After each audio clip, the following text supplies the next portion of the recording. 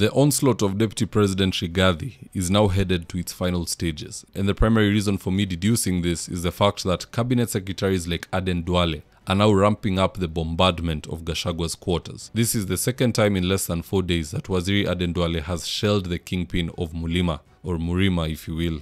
Just listening to this. You cannot take an oath of office as the president, as the deputy president, as a cabinet minister like me, as a principal secretary, as the head of a security agent, the IG, the DG NIS, the chief of defense forces, and then use your office to perpetuate, to propagate sectarian and tribal interests.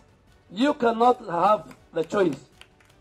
You must live by the oath of office.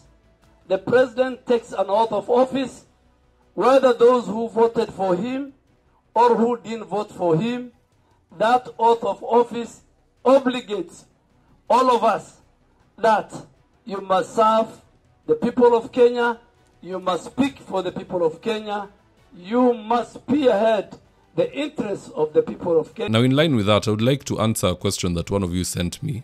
And uh, I don't have my phone with me, so I'll just paraphrase. He wanted to know in the event that DP Rigathi is removed from office through the act of impeachment, what precedent will this set in the grand scheme of Kenyan politics? So that's what I want us to look into in this particular video, and without wasting any time, let's get after it. Number one, the removal of the deputy president from office will solidify the split of Mlima Kenya East and Mlima Kenya West, especially if Mlima Kenya East MPs overwhelmingly vote for the removal of DP Rigathi Gachagua from office and Professor Kithure Kindiki is selected as the new deputy president because automatically Mlima Kenya West will uh, be looking to revenge in 2027 and they'll do so by voting for the opposition and in so doing solidifying the rift that is kind of now starting to emerge. And by the way, this comes as a very big shock to all of us. Can you imagine? Let's just take the clock back. In 2022, nobody, and I mean nobody, could ever have anticipated that one day, one time, we'll be talking about Mlima Kenya East and Mlima Kenya West.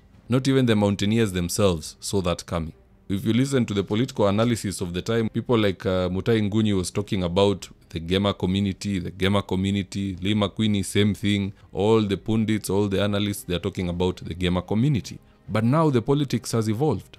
We are talking about East and West. This is a new frontier that we are entering. So, nonetheless, an impeachment of Rigathi Gachagua would lead to a very big rift in those two regions. I don't know which politician will come one day, one time to mend that rift. It could be Jesus himself, who isn't even a politician, is a superior deity. Now, moving on, the second thing that will happen if DP Rigathi is removed from office is that it will set the precedent for future impeachment or purging, if you will, at the highest level of governorship, i.e., the office of the deputy president. Because if you do the math, since we abandoned the 2010 constitution, we've never had any president or deputy president facing an impeachment trial, let alone being removed from office by the National Assembly. Because, you know, it's a demeaning process. Rigathi would have to appear before Speaker Wetangula in an ad hoc committee, and the ranking members of that committee are likely going to be the likes of Kimani Ichung'wah and Junet Mohammed. So imagine somebody like Ichung'wah organizing the ouster of DP Rigathi, and then DP Rigathi has to go explain himself before Ichung'wah. that would be an outrage, and uh, as you know, it would have to be televised on TV. Now, assuming they have their way and they remove him from office, the Pandora's box will be opened, and in future, more deputy presidents will face the axe for even lesser crimes than loving one's region too much. Now, the third thing you can expect following uh, Rigathi's impeachment, if at all it ever gets there, is that we are going to have organic mandamano that will disrupt all businesses in Nairobi and Kiambu County in specific. A little while back, we were told by Opio Wandai that the finance bill was a ticking time bomb. No one believed him until Gen Z went to eat rice in parliament and they stole the mace. This time around, a Rigathi Gachagua impeachment will also have far-reaching consequences in regards to protests. My only hope, of course, is that they don't, you know, get out of hand and uh, we end up flipping the newspapers or turning on the TV and seeing that Nairobi is being declared a hotbed of terror by CNN. But maandamano, you can definitely expect it. Because for Rigathi, he's in a very unique spot. If you count the leaders who support him, they don't even exceed eight. They are very few elected leaders from the mountain as we speak. All the others are behind Kimani Ishungwa because he's their majority leader. You know, he's with them every other day. He's able to solicit their votes and to lobby, you know.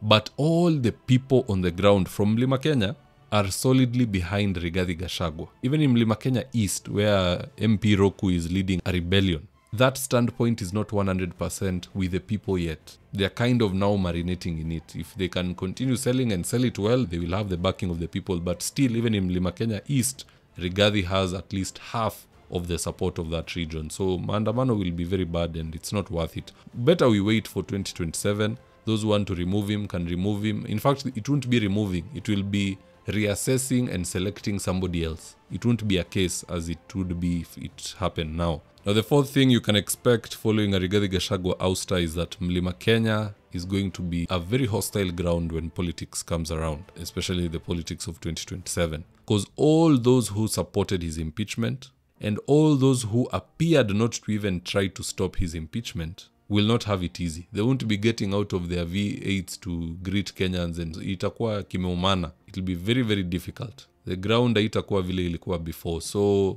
for me my assessment is that it is better off those who don't like uh, dipirigadhi or would like to see him gone. Three years is not too long. In three years, the president can select Professor Kindiki, he can select Mudavadi, he can select Morara, even David Wafula as the next deputy president, if he so wishes. The options are all there, and the timing will be just right. But right now, it involves impeachment. And the process of removing a deputy president is quite different from a minister. A cabinet secretary is just fired with one stroke of a pen. A letter is publicized on Twitter at midnight. People don't even have time to protest.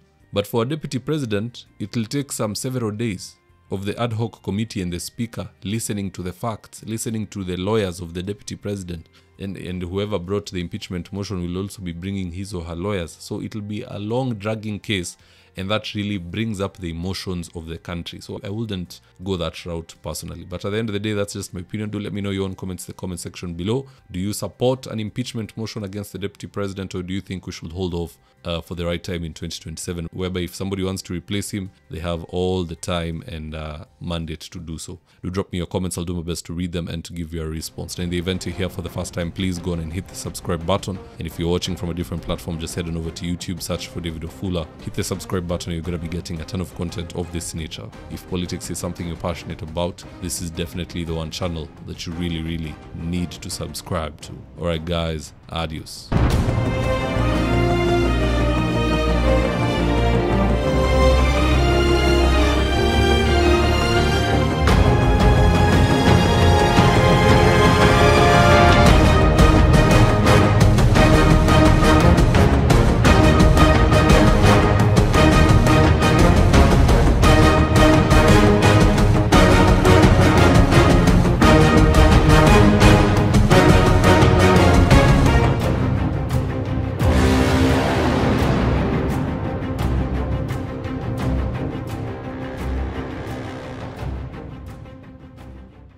Thank you for choosing David Wafula as your primary news platform. We put countless hours in research, recording, and editing. By showing up each and every day to watch our videos, you encourage us to generate more videos for the viewers.